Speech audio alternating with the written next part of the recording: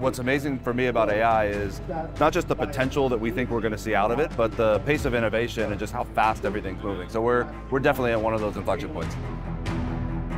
I'm Steve Saunders, and I'm looking at how artificial intelligence is reshaping the telecommunications landscape. No one makes the leap to the AI age alone. Cisco's Agile Services Networking Framework is already helping carriers make real-world gains from AI without having to rip and replace the old world overnight. It's not just another tech trend, it's a fundamental shift in how networks are built, operated, and monetized. To understand what's really happening, I'm speaking with the people designing the next generation of comms infrastructure.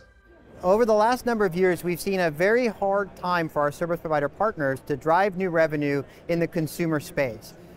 Where we have seen growth consistently is in the enterprise, IoT, and fixed wireless area. So as you look at generating new revenue, some of the really critical things they need is they need a lot of flexibility. So the way that Cisco's helping service providers do this is really by marrying our knowledge and expertise and our close customer relationships with the enterprise the knowledge of their applications with the service providers' networks, and we brought that together into what we call the Mobility Services Platform. The simpler things are, the more people are going to adopt it. Right now, connectivity, creating the edge is hard. I have to negotiate multiple contracts. I have to go embed things that are not naturally embeddable and when you make it all in a one and all-in-one solution, it makes it very easy. It's a great ecosystem. It's just not the Cisco wireless products, but of course, their private 5G, their software stack, Splunk, all the Cisco capabilities we are putting together, um, along with NTT's capabilities, and it's a great synergy. This isn't about evolution. It's about reinvention.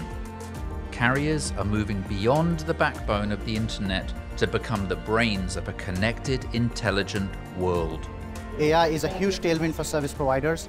They've got all the assets. They've got power, they've got space, they've got fiber. We've got the solutions now with our Agile Services Networking architecture and our AI Services Factory. We can put this together and they can bring this to market much more easily than they would otherwise get to. At the heart of tomorrow's AI infrastructure is Cisco's Silicon One, a unified high-speed chip built to power the networks of the future. Our Silicon One investment has really been very helpful for us. Um, as you may know, uh, NVIDIA selected Silicon One as the only other silicon to be standardized as part of their reference architecture. And so we have both the silicon in the form of Silicon One that goes into the networking applications, the switch that's used in the AI infrastructure, and we have the optics that interconnect switches and GPUs. And so we play a very, very significant role for our enterprise customers and for hyperscalers who are deploying AI infrastructure and may need switches on the front end or back end. We partner with Cisco to be able to build those architectures. We're now acquiring routers and switches and optical devices that are form factor and function fit for purpose for where we're deploying them in the network. And so we focus on the right equipment in the right time with the right capabilities that allows us to pay as we grow and rack and stack, but also more importantly, one in which we can fully distribute out those capabilities to where our customers need it. The network is the it's the asset and the way you make money. And so this idea of service monetization, speed to market, uh, uh, using the platform to uh, monetize and provide value to customers in new ways is critical.